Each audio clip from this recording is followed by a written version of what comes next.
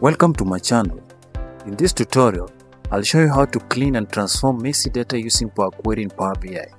You learn how to remove duplicates, handle missing data, split and merge columns, and automate data cleaning for accurate report. Whether you're a beginner or an advanced user, these Power Query tips will help you to streamline your data preparation process. So let's get it started.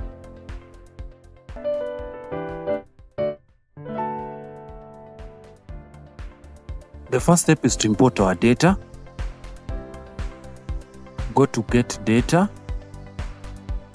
Then from Excel workbook, let's look for our data. Then click it, then open.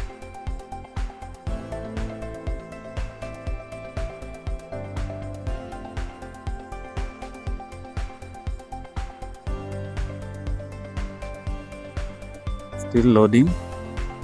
Okay here we are. Then go to the navigator. Check your file the sheet one click it. The next step is to transform it.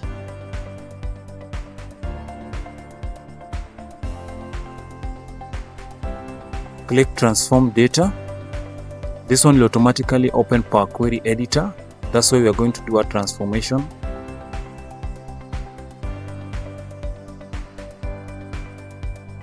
The first step is to remove the duplicates. Click on the grid icon, then click on remove duplicates. The next step is to format this data. Click the column, go to transform, click format, then click trim to remove the white spaces. Again, we are going to format it. Then we pick the capitalize each word the next step is to remove errors. You see we have US and United States. So we want to maintain United States. So go to replace values. So we're going to replace US with United States. Remember Power Query is case sensitive. So type United States just the way it is. Then press OK so we're done with this one. Let's recheck. Okay it's okay. Let's recheck. The next step is to split and remove some columns. Let's split this. It's having the state and uh, the product. Go to delimiter. You can choose delimiter comma. But let's go to custom a dash then press ok.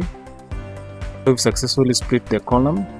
So let's let's delete this. Click it. Then go to home. Remove columns.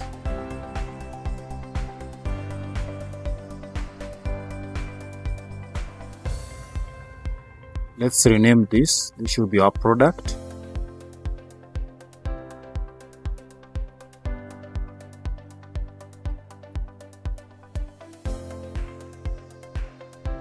okay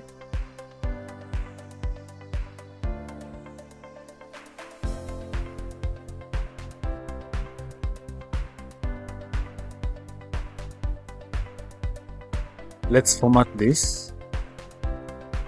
Let's let's go with the whole number. Also convert this one to whole number click the whole number. The next thing we're going to do is to format the the dates. Click there then click the dates. Now it's properly formatted.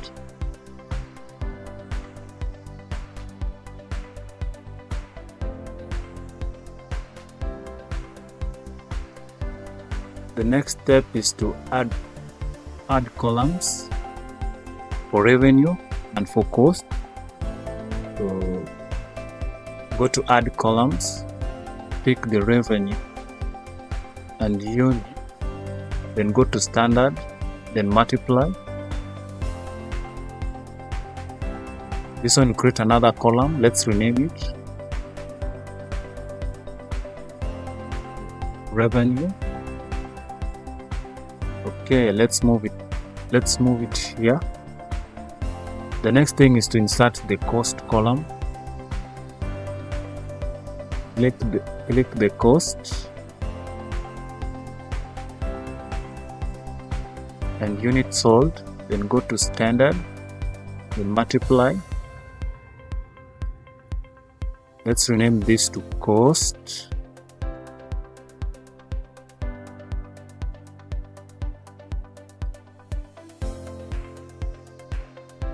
Okay let's move it the next column are going to add is for the profit which is revenue minus cost. So going to add column. Pick revenue. Pick the cost column go to standard then subtract. Now we have the profit column. Let's rename it profit. Let's move it up let's move it here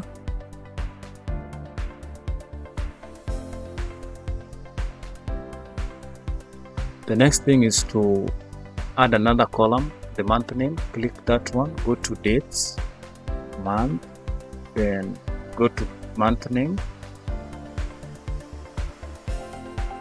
It's here let's move it to where the date is. The other one is check the year. Click that column for the date. Go to page. And click here let's move this. So the last column you're going to add is the gross profit margin which is profit over revenue to percentage. Pick profit then revenue then percentage of then let's rename this to be GP margin.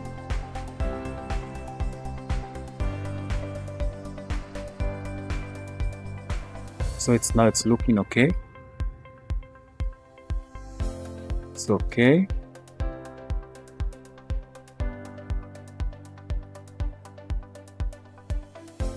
the next thing is to close and load. So go to home then click close and apply. This will automatically loads it to power bi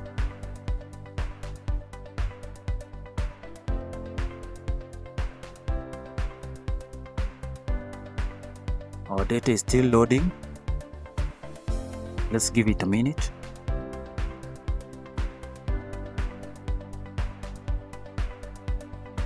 There we are.